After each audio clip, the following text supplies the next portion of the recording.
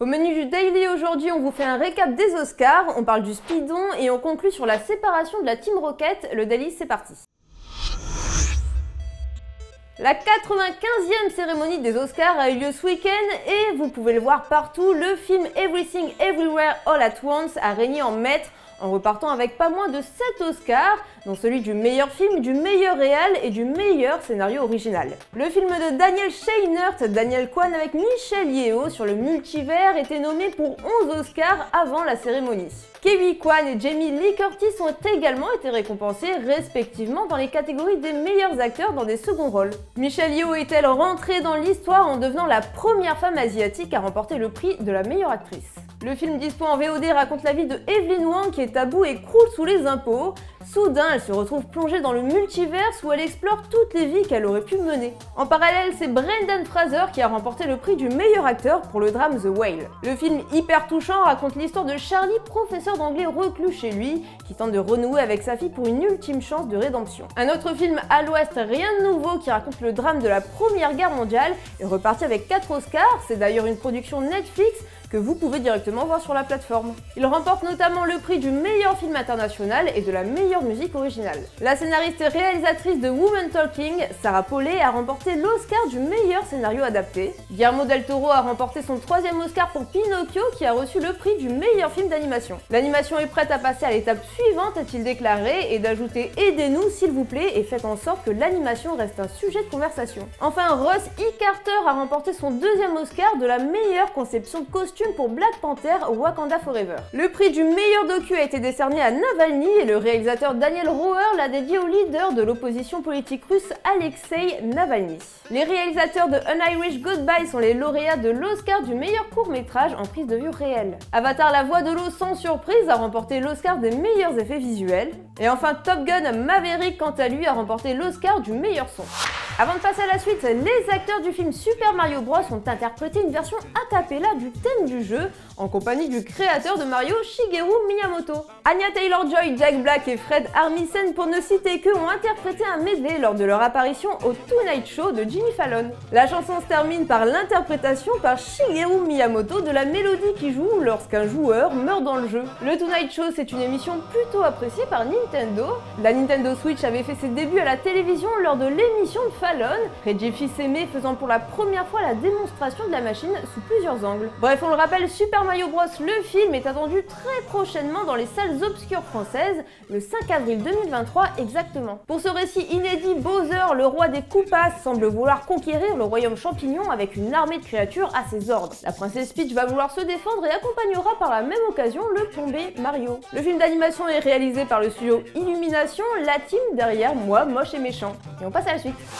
Les adeptes du speedrun avaient eu droit à une nouvelle édition des Speedons ce week-end organisée par Mister MV en faveur de Médecins du Monde. L'événement se déroulait pour la troisième fois ces derniers jours avec un objectif évident et parfaitement de circonstance, battre un record. Pour cette édition réalisée en public au Palais des Congrès de Paris, Mister MV et ses partenaires ont clairement vu les choses en grand. Après avoir proposé 55 heures de speedrun en 2022, Speedon a été considérablement rallongé pour cette édition qui durait 79 heures. L'an dernier, Speedon avait récolté plus de 800 000 euros, établissant un nouveau record par rapport à l'édition précédente, la première qui avait permis de rassembler plus de 600 000 euros. Pour cette édition 2023, les petits plats ont été mis dans les grands. L'idée était évidemment de passer le million d'euros en faveur de Médecins du Monde. Bien sûr, qui dit événement plus long dit plus de runs mémorables, et autant dire que nous avons été servis. On a eu du Metroid Zero Mission, Final Fantasy VII Remake en allemand au milieu de la nuit, Link the Faces of Evil Remastered, le rang de Grandmaster atteint sur Tetris, on a aussi aimé les speedruns d'Into the Breach, Neon White, l'exploit réalisé sur la version KO de The Legend of Zelda A Link to the Past, la run de Hades et le grand show sur Elden Ring pour conclure, bref, du beau spectacle. Alors que la barre des 500 000 euros récoltés n'a été franchie qu'en fin d'après-midi dans la journée du dimanche, le bilan était tout autre autour d'une heure du matin dans la nuit de dimanche à lundi. En rajoutant la somme récoltée sur la vente des t-shirts et de l'album de résonance et grâce à un rush final de folie, Speedon 3 a permis de récolter 1 252 637 euros. Et bien sûr, comme souvent, le dernier jour de l'événement a été décisif avec des dons qui s'envolent pour remplir les derniers défis, débloquer quelques bonus et runs supplémentaires, participer aux loteries et donner un dernier élan à l'initiative. Comme on pouvait l'imaginer, Speedon 3 n'était pas la dernière édition de l'événement qui, si tout va bien, sera de retour l'année prochaine. Reste à savoir si Speedon 4 sera encore plus long ou pas, mais surtout à quelle date il aura lieu. Avant de passer au dernier sujet, on vous informe, le studio ukrainien à l'origine de Stalker 2 affirme avoir été piraté par un groupe de Russes. Dans un communiqué publié sur le compte Twitter officiel du jeu JSC, Game World affirme qu'une communauté d'un réseau social russe a piraté son compte sur une application collective de travail avec des images et menace de demander une rançon pour les données. Selon le studio, l'attaque pourrait conduire les pirates à divulguer des images et des spoilers potentiels du jeu. C'est pourquoi il demande aux joueurs d'ignorer toute image ou vidéo divulguée avant la sortie du jeu. Il menace d'utiliser les données obtenues à des fins de chantage et d'intimidation, peut-on lire dans la déclaration. Ce n'est pas la première tentative de piratage et de fuite de nos données, y compris des informations personnelles. Le communiqué poursuit Nous subissons des cyberattaques constantes depuis plus d'un an. Nous avons dû faire face à des chantages, des actes d'agression, des piratages, des tentatives de blesser les joueurs et les fans et des efforts pour nuire au processus de développement ou à la réputation de notre entreprise. On le rappelle, Stalker 2 c'est toujours pour 2023 et d'ici là, bah attention au leak. Et on passe au dernier sujet. Vous le savez déjà, si Sacha a mis 25 ans pour devenir le meilleur dresseur, pour lui et son fidèle Pikachu, c'est bel et bien la fin. Après 25 saisons d'aventures palpitantes, Sacha a marqué l'histoire en gagnant le tournoi du couronnement mondial, nous annonçait The Pokémon Company via un communiqué. Et d'ajouter pour célébrer sa victoire, une collection d'épisodes spéciaux sera diffusée pour mettre un point final à la série Pokémon et les voyages ultimes et fournir un aperçu de ce que l'avenir réserve aux meilleurs dresseurs du monde. Cette même année, un show TV inédit fera son arrivée avec les créatures des jeux Écarlate Violet. Il était quand même temps que Sacha arrive à ses fins après plus de 1200 épisodes, pour être précis, lui qui faisait le serment d'être un jour le meilleur maître Pokémon dans le tout premier épisode de la série. Pour l'anecdote, Sacha avait déjà mis longtemps pour gagner sa première ligue, une délivrance qui survient lors de la 22e saison au tournoi d'Alola. L'adieu de Sacha amorce une bascule sans précédent sur le rendez-vous Pokémon.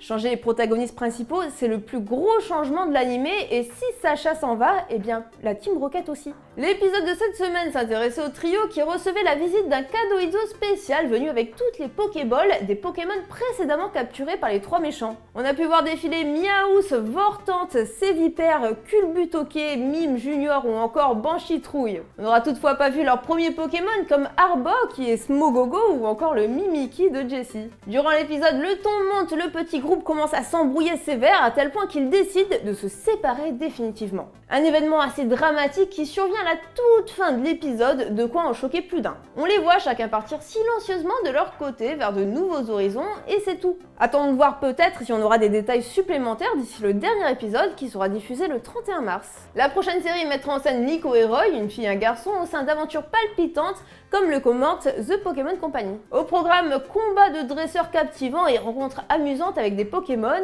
et tous les codes chers aux fans du dessin animé, à savoir de l'action, de l'aventure, de l'amitié et bien sûr des créatures. Et peut-être une surprise car à bien regarder la nouvelle héroïne Nico, elle semble avoir un petit air de famille avec Sacha. Bref, on verra. Le délit c'est fini, place au sondage. Vendredi, on vous demandait si vous comptez faire la démo de Resident Evil 4 Remake. Résultat, eh bien 50% dorment dessus sans broncher, 21% vont y jeter un œil, 16% vont la poncer bien fort et enfin 13% ne savent pas trop encore. Nouveau jour, nouvelle question, êtes-vous triste de la séparation de la Team Rocket? Réponse 1, c'est qui? Réponse 2, je suis vraiment attristé par la nouvelle. Réponse 3, je m'en fous complètement. Réponse 4, c'est une bonne chose pour la série. Comme d'hab, le sondage est dispo dans l'onglet commu de notre chaîne YouTube et on se dit à demain pour les résultats. Ciao